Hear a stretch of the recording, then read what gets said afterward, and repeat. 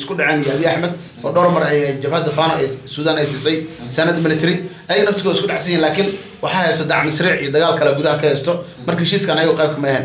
Marka waxaa la leeyahay dowladda ismaaciil cumar geelaa laga yaaba in arrintan ka xanaaqdo ay la xumaato maadaama eritrea iyo isku dhacsan yihiin jabuuti dhul ay isku haystaan ciidamana laga haysto eritrea oo iyo hadda kor laga qabsaday oo maxaabiis laga haysto. Waxaa laga yaabaa in dowladda jabuuti ay ka xanaaqdo shirkaas ayaga banaanka ay ka joogaan oo amniga looga heshiiyey ayaguna ka maqan inay dhibaato u arkaan. Hadhow marka in arrintaas la xumaato oo soomaaliya ayagu ay xurguf soo kala dhex gashana waa laga yaaba ina meesha ka soo baxda maado. Marka almuhim shirkan waa la soo gabagabeeyey waana wuxuu noqday shir laysku fahmay meel wanaagsan oo mara saanad military wax badan iyo tababarana waa la qaybsan doonaa ciidamo soomaalida fara badan la tababari doonaa masaarida ciidamo ay tababara doonaan elitriyaanka sidoo kaleeto ciidamo soomaaliyed eritrea gudaheeda joogi doono oo haddii etoobiya iyo soomaaliya isku dhacaan dabarjibin ahaan halkas ka dagaalami doono. Marka xaaladdu ma sahlano abiy axmedna hadda waxaa la dhihi karaa dhiiqu ku fadhiya aad baad umahadsan tahay gooniyow dhinaca iyo haddii aan aadno maamul goboleedka jubbaland ee axmed madoobe madaxda uu ka yahay khilaaf. Waxaa jiray soo kala dhexgalay shirkii ka socday magaalada muqdisho. Axmed maxamed islaamna uu iskaga soo tegay halkii shirka uu ka socday magaalada muqdisho. Hal arrinkaas oo la rabay in madaxweynaha jamhuuriyadda federaalka soomaaliya maamul goboleedyada iyo gebi ahaanba dowladda federaalka hal mar a doorasho qof iyo coda ay ka dhacdo haddana sana sanad lagu soo daro inta dowladda oga dhiman balse axmed maxamed islaam uu ka biyo diiday wuxuuna sheegay laba maamul oo ka maqan meesha in la keeno. Walow dadku ay leeyihiin asaga ayaa raba in uu mar kale soo laabto oo isku caanashubo wuxuuna ogyahay haddii qof iyo cod baa loo dhaqaaqi la dhaho dadka shacabka in aysan axmed madoobe mar kale soo dooranaynin. Danihiisa khaaska asagoo ka fiirinaya shirkaas ayuu iskaga tegay golaha wasiirada ee maamulkaas ayuu maalintii shalay ahayd. Magaalada kismaayo yuu iskugu yeedhay. Wuxuuna u sheegay in aysa jubbaland ka dhici doonin wax la dhaho qof iyo cod ama dalka soomaaliyaba gebi ahaanba uuna jirin dal midaysan oo hadda isla socda asagoo oo ku soo qaadanaya in ay maqan tahay somalilan dhinac la jiray puntland s c khatumo waxa oo dhan ba ay maqan yihiin. Marka dal midaysan ba maba jira maxay doorasho dhicigu asagoo ku dacwoonaya dowladda federaalka oo ra'iisul wasaaruhu uu hadlayna wuxuu sheegay in wax farxad leh uu shirkaa ka soo bixi doono. Shirkuna horay uu u socon doono oo aan loo joojinaynin qowlaystayaal dad lagu tilmaamay oo lugaha ku dhegan dadka soomaaliyeed in ay horay u tallaabsadaan. U dambeeyey horta maado waa run axmedoobe shalay golihiisa wasiirada isugu sheegay iskugu yeeray waxaana u sheegay in gebi ahaanba uusan dib ugu laabanin magaalada muqdisho doorashana ay qabsan doonaan. Teeda kale wuxuu la kulmay axmedoobe odayaasha beesha absame ee ku sugan magaalada kismaayo isagoo iyagoo ku heshiiyey in doorashada bisha november ay dhacdo. Dib dambena muqdisho aan lagu laabanin. Go'aanka axmedoobe oo qaatana ay tahay mid saxsan. Dantoodana ay reer jubbaland hadday yihiin inay fiiriyaan in axmedoobe doorasho galo. Shan sano kalena oo is doorto. Taas ayaa meesha ka soo baxday. Odayaasha asagana isku fahmeen. De wax cid ku mucaaradi karto kismaayo joogto axmedoobe mucaaradi karto ma jirto qofkii mucaarada xabsigo leentu ka cabaa ama waxaa waaye jubbaland kama bixi karo godoona ku noqonaa. Marka axmedoobe dantiisoo fiiriyey kuwan kale hadda ku shirsan muqdishona xaaladihii ugu dambeeyey shirkii saddex geesoodkaha ee u dhexeeyey masar eritrea iyo soomaaliya ee ka socday dalka eritrea iyo qodobadii ay ku wada heshiiyeen labadaa dowladood saddexdaa dowladood iyo waxyaalaha ay soo qaateen ee warmurtiyeedka. Halkan ayaad ku dhegaysan doontaan rabbigu hadduu idmo axmed maxamed islaam oo ku kacsanaa dowladda federaalka kana tegay shirkii dowladda dhexe iyo maamul goboleedyada uga socday magaalada muqdisho. Maalintii shalahayd wuxuu la shiray golihiisa wasiirada wuxuuna sheegay in gebi ahaanba wax qof iyo cod la dhaho in aysan jiri doonin. Sidoo kale waxaan ku soo qaadan doonaa maamul goboleedka puntland markii dhaqaalihii iyo waxay dowladda federaalka ay ku habaysay ay gebi ahaanba ka goosteen. Ciidamada waxaa ku dhacday mushaar la'aan saakana waxay wararku sheegahayaan in kontaroolada waaweyn ee magaalada gaalkacayo ay la wareegeen. Qodobadaas iyo kuwo kale ayaan muuqaalkeena ku soo qaadan doonaa rabbiga hadduu idmo daawadayaal soo dhawaada mar kale muuqaalkana sheergareeya hagaag saaxiibkay gooni ayaa isha soo mariyey oo noo falanqayn doona. Gooni soo dhow waa dhawa maada waa maadsantahay aan ku bilowno shirkii ka socday caasimadda dalka jabuuti. Shirka ka socday caasimada dalka eritrea caasimada meesha la yidhaha casmara horta shirkaasi waa soo gabagaboobay inkastoo madaxda weli aysan kala tegin haddana bayaan ayaa laga soo saaray saddexda dowladood ee masar iyo soomaaliya iyo eritrea. Waxyaabaha looga hadlayan waxaa ka mid ah iskaashi amni oo ay wada yeeshaan saddexda dowladood. Haddii lacala dowladahaas mid ka mid a ay dhibaato ku dhacdana inay labada kala caawiyaan. Oo gurma deg la siiyo. Marka waxay ku heshiiyeen in amniga la wada sugo badda cas iyo babalmandaba amnigeeda in laga wada qayb qaato maadaama saddexda dowladoodba ay bad ay leeyihiin inay iska kaashadaan xagga amniga waxay kale ku heshiiyeen haddii lacala saddexdaas dowladood mid ka mid ah lagu soo duulo in dowladaha kalena ay dhabarka u dhigtaan oo ay mas'uuliyadda saaraan ciidamadana markaasi ay geeyaan si ay u caawiyaan. Marka xaaladdu ma sahlano dowladda etoobiya ayaana cadaadis lagu saaraya arrintan dagaalna hadda ay markaas ku dhawaaqeen ma jiro. Laakiin waxay leeyihiin gabi ahaanba haddii ciddii isku dayda inay saddexdaas dowladood mid ka mid ku xadgudubto dhibaato ayaa la kulmi doontaa. Marka heshiiskan muddooyinka la soo dhaafo waa socday. Haddana waa la sii balaariyey. Wax kaga sii daran saddexda madaxweyne markay joogeen saddexda wasiir arrimadoodna gooni u shirayeen marka saddexda madaxweyne markay shirka soo dhamaysteen saddexda wasiir arrimadoodna shirka waa dhamaysteen go'aan ayaa laga saaray go'aankaasna wuxuu noqday mid mid ah oo saddexda dowlad mid haddii la tabta midda kale ayadoo la taabta ka dhigan tahay waana arrin dhabarjab ku ah dowladda etoobiya abiy axmed ayaa isku dhaceen eritrea iyo masar iyo soomaaliya. Soomaaliya masar eritrea iyo soomaaliya waxay ugu dhaceen xagga badda.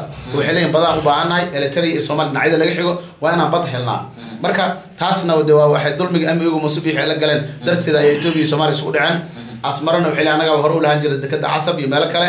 Eritrean annaga naga mid aheyd marka waa inaan dib u qabsanaa marka qoladaasna halkaas iga dhacsayin qoladana webiga nil ay isku haystaan ama webiga abay loo yaqaano biyo xireenkii ay ka sameeyeen marka saddexda dowladood waxaa umalaysaa inay isku dan yihiin oo hal meel ay wax ka wada arkeen oo cadowgaada cadowgiis waa saaxiibka inay meesha soo gelaysa umalaysaa marka abiy axmed ayay dhabarjab ku tahay maadaama shan dowladood ama lix dowladood asaga ku hareereysan saddex ka mid a u heshiisay matalan kenya iyo etoobiya hadda wax dagaal kama dhexeeyo jabuuti iyo ethoobiyan wax dagaal kama dhexeeyo laakiin soomaaliya iyo maxaa yidhaha masar iyo nimankaa la yihahdo eritrea dagaal ka dhexeey waxaa u sii dambeysa sudan oo ayaguna markaas isku wanaagsaneyn oo caftaax alburhani ay isku dhaceen iyo abiy axmed oo dhowr mar ay jabhadda fano ee sudan ay siisay sanad military.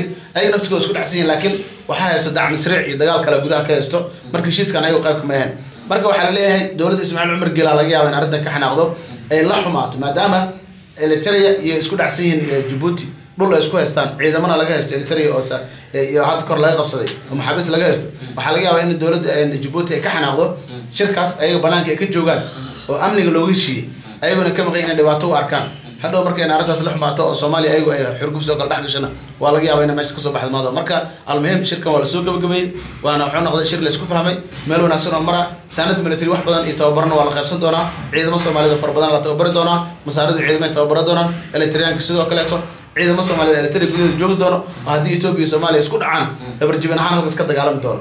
Marka xaaladdu ma sahlano abiy axmedna hadda waxaa la dhihi karaa dhiiqu ku fadhiya aad baad umahadsan tahay gooniyow dhinaca iyo haddii aan aadno maamul goboleedka jubbaland ee axmed madoobe madaxda uu ka yahay khilaaf. Waxaa jiray soo kala dhexgalay shirkii ka socday magaalada muqdisho. Axmed maxamed islaamna wuu iskaga soo tegay halkii shirka uu ka socday magaalada muqdisho.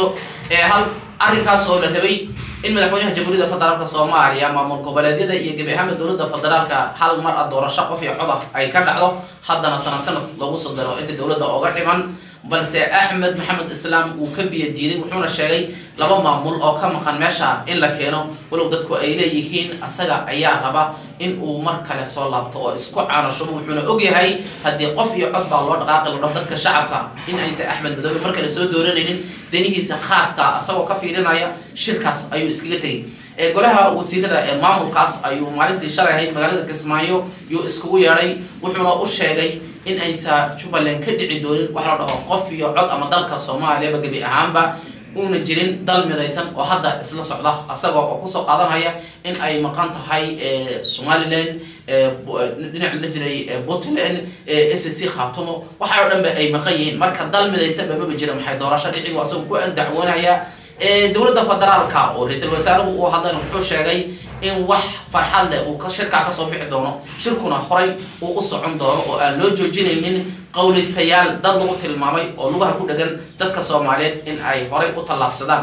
U dambeeyey horta maado waa run axmedoobe shalay golihiisa wasiirada isugu sheegay iskugu yeeray waxaana u sheegay in gebi ahaanba uusan dib ugu laabanin magaalada muqdisho doorashana ay qabsan doonaan. Teeda kale wuxuu la kulmay axmedoobe odayaasha beesha absame ee ku sugan magaalada kismaayo isagoo iyagoo ku heshiiyey in doorashada bisha november ay dhacdo.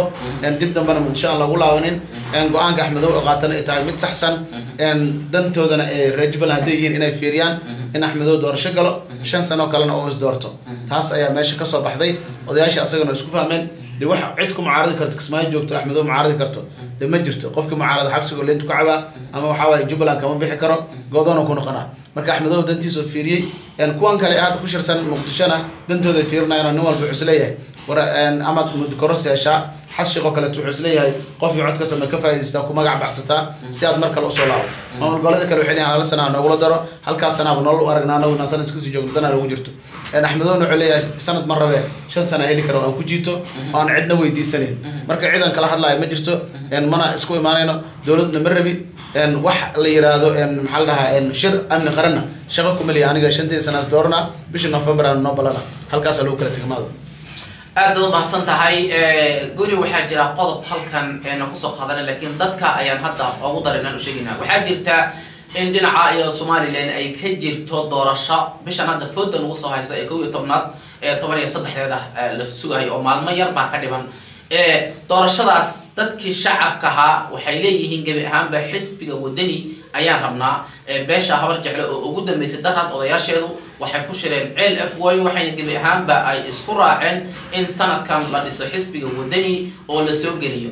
Muusena waxaa la leeyahay dadka shacabka way ka daaleen oo waxaa lagu eedeynhayaa waxyaala aad u fara badan. Xaggee baa u dambeysay balse doorashadan haddii uu cabdiraxmaan ciro uu codka asagu uu helo oo u bato sida muuqata dadka shacabka asaga ayay u codayn doonaan. Laakiin haddii haddana ay dhacday in laga gedisto oo la dhaho muusa soo baxay bal noo falaqe horta maado culays weynaa ka imaan karo haddii la yiraahdo muuse bixiyaa marka laga doorto somaliland gudaheeda maadaama sidaa u fiirisid doorashada qaabka u socotay diyaar garowga shacabka fanaaniinta waxgaradka odayaasha markaa qiimaysid qaabka wax u socdaan cabdiraxmaan ciro madaxweyneha dhaarta u dhimanta inuu yahay muuqato. Bulshada dhan gobollada dhan ninkaasaa qaata aad iyo aad. Markaa qiimayntaas markaa qiimaysid ninkaasa iska leh. Laakiin way jirtaa in doorashooyinka layska dhaco oo laisla gediyo. Laakiin waxaa dhici karto markan in muuse biixi codka laga bato shaki la'aan waana laga badanayaa. Laakiin haddii loo gediyo oo matala etoobiya ku xiran yahay dowladda etoobiya u gediso dee somaliland markaas burbur iyo dhibaato iyo dagaal geli kartaa sababta waxay tahay beesha habar jeclo oo hadda ay dadka majority-ga lagu tiriyo ayaa waxay la wareegtay u wareegtay dhanka cabdiraxmaan ciro beesha garxajis dhammaan cabdiraxmaan ciro taageersan yihiin. Beelaha kale yaryarka dhan waxay taageersan yihiin. Ha reoodala dhan waxay taageersan yihiin cabdiraxmaan ciro marka halkaas waxaa ka garan kartaa biixi percentage xataa fiican inuusan heli karin oo meel cidlaa looga tegi doono marka haddii cadaalad ay dhacdo oo dad dhexdhexaadyaal oo fiican oo doorashadii iyo codka xisaabe haddii la helo cabdiraxmaan ciro waa madaxweyne. Haddii la yiraahdo codaa la gediyey oo muuse biixi loo gediyo soo baxay la yirahdana dee shacabka meesha u socdaan waa loo jeedaa kor waayo la wadindheer qofka la dooranaya waa loo jeedaay. Khiyaano qaran haddii la sameeyo somaliland burbur iyo dhibaataha ka dhici karo iyo dagaal oo markaas mucaaradku ay sameeyaan. Taasna dan uguma jirto. Marka waxaan dhihi doorasho cadaalada ka dhacdo dee ciddii soo baxdana ha loo dulqaato hala sugo ayadana wax isdabamarna la sameynin muuse biixi maanta uu soo shaqeeyay toddoba sano ayuu ku jiray gudaha ee somaliland. Wax natiijo fiicanna kama usa keenin in sc qaatuma gacanta ka baxday reood state ay iyaga isku dhacsan yihiin. In gudaha dadka beelaha garcajis ilaa buurta gacanli wax la fulo oo gaarsiiyey. Oo meesha wax marayaan loo jeedo in etoobiya ku wareejiya badii saylac lughaye waxyaabahaas o dhan markaa fiirisa muuse biixi cvgiis inuu gubtay ayay u badan tahay mahado aad baad umahadsan tahay waxaan leenahay reer somalilan haddii aad rabtaan isbeddel ama qof wax idin tara qof wax tarayo horta ilaahay baa garan laakiin haddii aad rabtaan inaad muusun isdhaafisaan dee kaarkiina yarkaa waad u madax banaan tihiin maalinka la codaynhayo santuuqa muuse mooyaane midka kalena waad ku ridi kartaan. Aad baad umahadsan tihiin haddii aan aadno dhinaca iyo magaalada gaalkacyo ama maamul goboleedka puntland waxaa ka dhacay arrin weyrax ah oo ciidamadu ay sameeyeen taasoo ay ka cabanhayaan mushaar la'aan la soo dersay oo dhowr biloodba aan qaadanin.